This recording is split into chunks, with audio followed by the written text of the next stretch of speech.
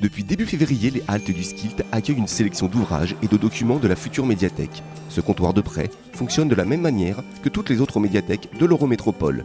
Il permet de rencontrer la future équipe, emprunter des ouvrages et patienter jusqu'à l'ouverture de la médiathèque Nord qui aura lieu à la fin de l'année. C'est une espèce de petite forme de ce que sera demain la bibliothèque, c'est une préfiguration.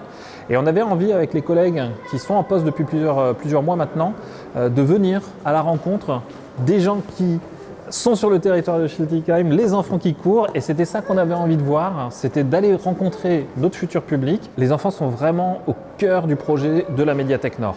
On a euh, au premier étage de la Médiathèque Nord tout un demi-étage qui leur est consacré. On a plus de 45% de la collection, et c'est un effort important euh, qui est à destination du public jeune, et on sait que les enfants font partie euh, du public qui va venir et on se réjouit vraiment euh, que ici déjà au comptoir de prêt, on ait des enfants qui viennent, qui circulent, qui courent.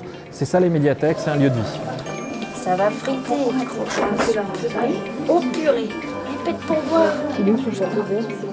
Je vois son château vert, toi, maman Il est On espère ouvrir d'ici à la fin de l'année et euh, on a voulu venir ici pour les comptoirs de prêt à ce moment-là aussi parce que c'était le moment de prendre cette habitude aussi euh, pour le public, de venir au comptoir de prêt comme ils viendront demain à la Médiathèque Nord. On aura un peu plus de 50 000 documents à l'ouverture, c'est une belle collection. Et on va avoir des super espaces aussi où on va pouvoir passer du temps à la médiathèque. Ce qu'on pense hein, vraiment et ce qu'on espère, c'est qu'avec la terrasse, avec les espaces qui sont destinés à des jeux, à des jeux de société, on aura vraiment un endroit où on crée une nouvelle destination euh, au cœur de la ville de Schiltigheim pour le loisir, pour la détente, pour la culture. Et c'est ça qu'on a envie de faire aujourd'hui. L'actualité en ce moment, on est en train de commencer à voir euh, cette fin de chantier.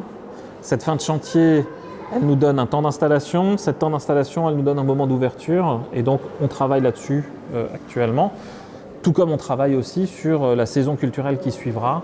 Euh, et puis, dans la perspective surtout de cette capitale mondiale du livre 2024, qui sera juste après notre ouverture. Ce sera vraiment une opportunité rare.